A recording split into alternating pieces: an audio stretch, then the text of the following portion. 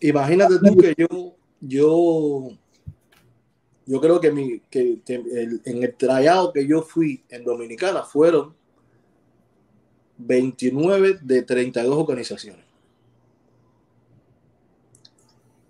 Yo creo que yo me preparé psicológicamente y tuve una, una de mis mejores exhibiciones porque yo sabía lo que contaba. 92, 92 millas sostenidas. Tiré, creo que tiré tres innings, tiré 36, 35 picheos, creo que fue en tres innings.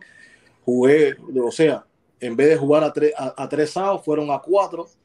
Creo que tiré 26 strikes y, y, 9 bolas, creo que fue 26 strikes y 9 bolas. O sea, yo estaba, yo estaba excelentemente bien. Estaba con Jaime Torres. La organización de los Dodgers, cuando aquello estaba eh, eh, como que Mike Brito interesaba, pero había un, creo que el general manager de ellos vino directamente, Logan White. Logan White. Y me dijo con estas palabras, no te fajes más con nadie, me voy a poner, me voy a ajustar con tu, con tu, con tu agente. Para que nosotros entre otros. Ajá. Para que nosotros nos arreglemos. O sea, ellos, cuando yo firmo con Oakland, que firmo por un contrato de liga menor que a mí me dieron 12 mil dólares para firmar y me dieron, eh, me daban, además de mi salario, 11, eh, 8.500 por encima. Es decir, no me acuerdo cómo, se, cómo lo cuadraron. Un explico de eso que se llama, correcto.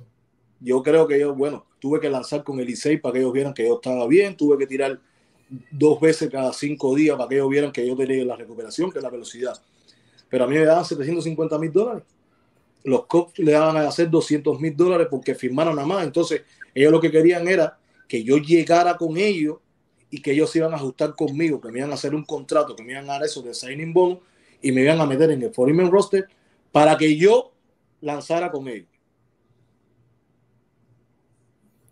Se le demoran los papeles, la agencia libre, nos vimos allá, mi hermano, todavía me acuerdo como si fuera hoy, le estaba diciendo a Jordano, nos vimos en el complejo de los Reyes de Tampa, eh, que ahí agradecíamos a, Carlos Alfonso, que de la Isla de la Juventud, eh, era el director internacional de los Reyes Tampa ahí. Tuve la oportunidad de darte un gran abrazo a ti, a Gacela ahí. Ustedes estaban en la mejor forma del mundo y, tú todavía no habías firmado. ¿Qué se le, ¿Por qué se demora, en la opinión de Yael Martín, en las palabras tuyas? Yael Martín en firmar.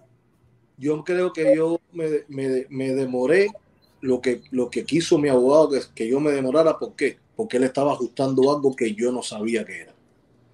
¿Se impacientó ya Martín en algún momento? No me impacienté hasta, hasta el momento que le dejé saber a él de que ya yo estaba, que mi tiempo estaba caminando. Yo no quería que me, que me dieran, yo quería que me pusieran donde hay. Yo me entero cuando yo firmo con, cuando yo firmo con el Licey, que me dieron 7 mil dólares y todo el mundo le estaban dando mil y dos mil. A ti te tratan como un veterano de Grandes Ligas, hermano. Ronnie Belian me dice a mí, Ronnie Belian me dice a mí, Acere, como, como nos dicen a nosotros, Acere. nos dicen Acere, ¿correcto? Acere, que tú haces aquí todavía. A mí me pusieron en el, en el puesto de Eduardo Jiménez y yo creo, no me acuerdo si creo que fue 4 y 3, 4 y 2. Y el medio mío fue dos puntos y pico. que tú haces aquí todavía? Yo, no, estoy esperando con mi abogado. Él, él fue uno de los que me dijo a mí, si estás esperando por tu abogado, me parece que estás perdiendo tiempo. Ahí, evidentemente, vamos, vamos a hacerle un repaso a, nuestros seguidores y ahora yo te tiene algo que, que, queremos recordar.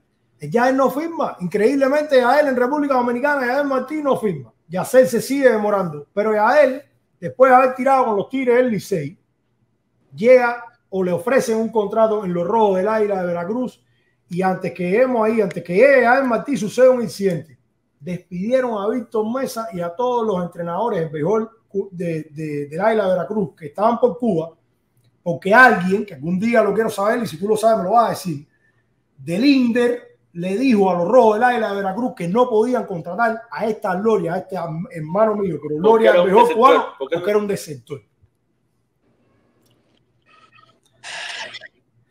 ¿Quién es ese? ¿Quién, quién fue a decirle a José Antonio Mansú Beltrán que usted tuvo el placer, igual que yo? Yo trabajé para él. y tú también porque él pagaba nuestros cheques. Pero que es un, un tipazo, un, un, hombre a todas, que le va a decir a Mansur que no te podía contratar a ti, a él, Martín. Bueno, yo lo único, lo único que te puedo agregar a eso es que no me acuerdo que haya estado Víctor muy conforme con la decisión, pero que, se lo, pero que se lo dijeron de... Entiendo lo que metió el trabajo. Exactamente, pero se lo dijeron de, de, la, de boca de que fue Higinio que fue el que arregló el contrato con ellos. Dios mío, ¿verdad? Higinio todavía Sigue dando vueltas. todavía sigue dando vueltas Higinio y poniéndote el dedo. El amor que él sentía por mí yo no lo entiendo porque imagínate tú. Pero ¿de dónde tú crees, Yadel? ¿De dónde tú crees? Porque Higinio sí le ha hecho estas cosas electro electrodomésticas, como dice. Como dice ¿Cómo le gusta, mi querido? Esto es a todo, el mundo, electrodoméstico. a todo el mundo. Él le ha puesto el dedo y, y ha, ha destruido. Y para mí, Higinio Vélez es la persona que más daño le ha hecho al béisbol cubano, pero de aquí a China. ¿Por qué tú crees que Higinio, tú sabes, la tenía, la tenía tanto con Yadel Martí? Ya no hay momento ni para preguntarle ni quisiera. No, no, no, no, no, no. Ya, es eso, es eso, es eso. Pero por mucho tiempo me hice yo la misma pregunta. ¿Qué le hice yo? Es válida. Yo quisiera, yo quisiera agregar algo. Higinio no era malo conmigo. Higinio era malo porque él era malo. Con todo el mundo, correcto.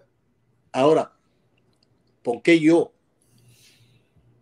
Yo no, no, no logro entender que tú seas capaz de limitar a un trabajo que está haciendo Víctor Mesa, que tú lo pusiste ahí porque Mansur le dijo, esto no, esto no tiene que ver con ustedes, esto no, no, no, no eso no, no tiene problema, eso, eso es otra historia. Él no entendió eso.